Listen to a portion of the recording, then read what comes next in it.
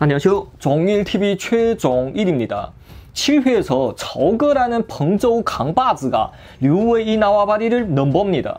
그리고는 몇십 명의 조직원이 몽땅 그냥 포로 무장하고는 쳐들어옵니다. 그 기세는 어마어마했죠. 그들은 건달처럼 생긴 사람만 보면 어이 니 류웨이 식구니? 하고 물었고 어 그렇다 왜? 니네 누구야? 라고 대답만 하면 다리에 그냥 팡 하고 포를 쐈답니다.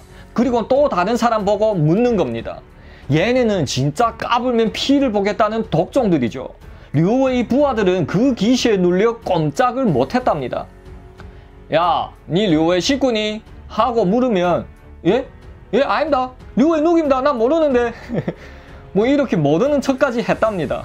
이 류의 부하들은 약해 빠져갖고 그냥 평민 백성들 앞에서는 그리 센 척하더니 진짜 흑사회드가 만나니 그냥 완전 비굴하게 꼬리를 내리는 거였죠. 적의 정예병에 비하면 류의 조직은 그냥 다들 그냥 오합지졸에 불과했습니다. 그리고 이 앞에 몇 명이 포에 맞아 이어 다른 조직원들은 그냥 아예 무릎을 꿇었답니다. 저거는 이렇게 쭉 들어가 류의 사무실에까지 쳐들어갑니다. 문을 팡 하고 치고 들어가자 류웨이가 마침 있었답니다. 그때 류웨이도 밖에 소식을 이미 다 들은 상태였고 또 수십 명이 포를 들고 들어오자 지릴 뻔했답니다. 저거는 거들먹거리며 들어와서는 책상 위에 포를 확 던지고는 이 또 두 다리를 책상 위에 척 올려 놓습니다. 그리고는 건방지게 앉아 있는 거죠. 네, 이어 담뱃불을 붙이며 어이, 니 류웨야 니 여기 파친코 게임장이랑 나이트랑 다 니가 한다며 돈 많이 벌겠다 야. 네 그거는 아이 건 드리겠으니까 모래장사는 손 떼라 들었니? 류웨는 이 적의 악명을 잘 들었기에 찍소리 못하고 고개를 끄덕입니다. 그 뒤에 류웨는 또 어마어마한 돈을 내고 저거랑 친해졌답니다. 류웨이가 하는 짓이 흑사회에서는 매우 비겁한 짓으로 보였지만 사실 그나마 현명한 판단일 수도 있었습니다. 왜냐면 돈을 아주 쓸어 담고 있는 좋은 조건에서 이 자존심 같은 건 개나 줘버려 였죠. 이 자존심도 자존심이지만 아직 이런 큰 흑사회들을 못 건드리는 건 또 그만한 빼액이 아직 없었기 때문이죠. 이 모든 건 류한도 알고 있었습니다. 류하는 더 세게 나가려면 진짜로 빵빵한 백을 가져야 한다는 걸 이제야 느낍니다. 그는 더더욱 돈을 그냥 막 뿌리며 이 위쪽을 넘봅니다. 그의 이런 발악으로 인해 조금씩 변화가 오기 시작합니다. 야, 요즘에 류한이라고 큰 기업이니, 어? 지고양이니 더양에 투자를 안 하고 어디 저 아바주에다가 돈을 겁나게 퍼부었다는데 웬일이야? 더양시 시장이 시위회의에서 책상을 탕 치며 말합니다. 아, 네, 그건 걔네가 흑사회라는 소문 때문에. 야, 니 말 잘했다, 야. 그건 소문이지, 야, 소문. 소문 모르니? 실제 사실도 아닌 것 때문에 이게 손실이 얼마야, 이게, 어? 그만한 투자자도 어디서 데려오지도 못하는 것들이 뭘 그리 따지는 게 많아. 당장 류안한테 요청을 보내! 고향에 한번 오라고. 네, 이는 더 양의 새로 부임한 시장이었습니다.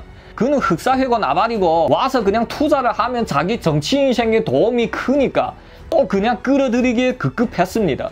류하는 이렇게 아바주의 투자로 인해 그 인기가 그냥 급상승하게 됩니다. 이어 거물 중리 거물이 류한을 눈여겨봅니다. 바로 제가 전에 얘기 드렸던 류한이 귀인이었습니다. 그는 쪼우빈이라고 부르는데 중국 석유회사 쪽이 간부였습니다. 한국은 여러 가지 석유 판매 기업이 있죠. 중국은 중국 석유라는 국유 기업에서만 판매 가능합니다. 그도 잘 나갔지만 그의 장인어른은 황지칭입니다. 황지칭은 중국을 대표하는 지질학자입니다. 그의 공로는 엄청나게 많은데 그 중 하나는 이랬답니다. 그는 흥룡강에 갔을 때였습니다. 그는 한번 쭉 훑어보고는 지도를 꺼내 한 곳을 딱 가리키며 야 이곳에 석유가 있다. 어서 파! 그때 흥룡강성 청장은 멍해있다가 어 그래 뭐 그렇게 유명한 사람이 파라고 하면 파야지. 라고 판 게 바로 따칭 유전입니다. 이것은 중국에서 제일 큰 유전인데 1년에 석유를 5천만 톤씩이나 채굴한답니다. 이런 어마어마한 장인어른을 두었지만 쪼빈이 아버지에 비하면 그냥 세 발의 피였습니다. 쪼빈이 아버지는 그 이름만으로 날아가는 새를 겁줘서 떨굴 수 있다는 쪼용캉입니다. 중국이 큰 매체든지 아니면 개인 방송을 하는 1인 방송이든지 아직도 쪼용캉이 이 일을 말하지 못한다고 합니다. 만약 이 스토리를 말하면 쪼용캉 이 세 글자를 말하기만 하면 금방 차단되기 때문이죠.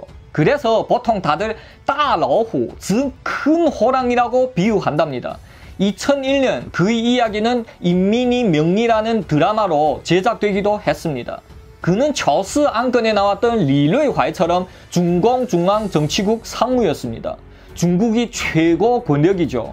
그는 제17기 중공중앙 정치국 상무로서 중국 최고 권력의 top 9에 들었습니다. 그때 이 중국은 후진타오가 주석이었고 쪼용캉이랑 어깨를 나란히 한 사람이 하나 있었는데 바로 시진핑이었습니다. 야 시진핑아 오늘 뭐하니?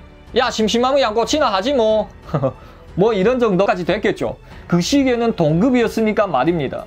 쪼빈은 그런 사람의 아들이었습니다.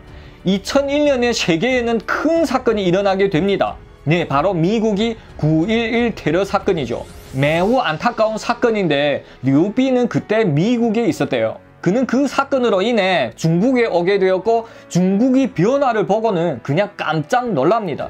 예전이 그 낙후한 중국이 아니었던 겁니다. 그는 문득 이 나라가 이렇게 갑자기 발전하면 뭐가 제일 부족하게 될 거라는 걸 잘 알고 있었습니다. 네, 바로 에너지였습니다. 그는 과감히 북경을 버리고 사천성으로 갔답니다. 그쪽에서 전력 사업을 하려고 보니 이미 임자가 있었습니다. 바로 류한이었죠. 쪼비는 사천성 성장한테 어이 성장씨 그 류한은 어떤 사람이요? 그 사천성 성장은 아 네 선생님 류한은 아바주의 전력 사업을 독점하고 이 스구량상 여행 관광지도 독점 개발한 거물 중의 거물입니다. 그 재산과 실력은 어마어마합니다. 믿고 일을 맡기셔도 될 것 같습니다. 그래? 그럼 어디 한번 불러봐. 류한은 쪼용캉이 아들이 자신을 부른다는 얘기를 듣자 아 이건 내 인생이 절대적인 기회다 라고 느낍니다. 그는 화장실 갈 때도 안 빼놓고 항상 들고 다니던 보디가드도 싹 다 빼고 이 수하의 그나마 정상적인 사람으로 보이는 순셔동을 데리고 갑니다.